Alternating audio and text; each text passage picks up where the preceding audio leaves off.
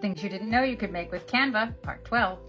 You can make the colors of your graphics in Canva match with just one click, and it's super easy to do. You probably already know about the copy style command, where you can take a block of text and use the paint roller tool, the copy style tool, and copy that exact same style to another block of text. Well, it also works for graphics.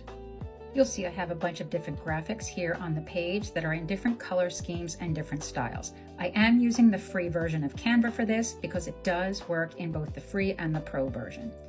You want to find some images where you can see the color blocks. You see each of these graphics gives me the color swatches right here. This will not work with images where you cannot see the color swatch. For instance, this one, I don't have color options up here at the top. It has to be a graphic image where you'll be able to edit those colors. Now, yes, you can go into each one of these images and click the individual colors and go ahead and change them that way, but that takes a long time, especially when you're working with a lot of graphics on the screen at one time. So here's the shortcut.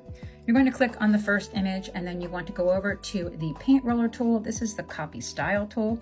You're going to click on that and then you're going to click on the second graphic and it's going to make it in the same color scheme. Let's go do one more. We're going to click this again. Click on the paint roller icon, the copy style tool, and we'll click this one and it puts it in the same color scheme.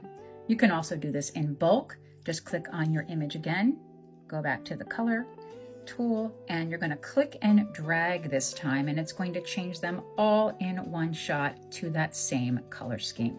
You might find from time to time that the colors are not quite the same, so you can just go up and change them individually if you like and make them a little more in line with the rest of the colors. But for the most part, this method works really, really well. And as I said, it's both in the free and the paid version of Canva. Now that you know how to make all of your graphic colors match, follow along for more Canva tips.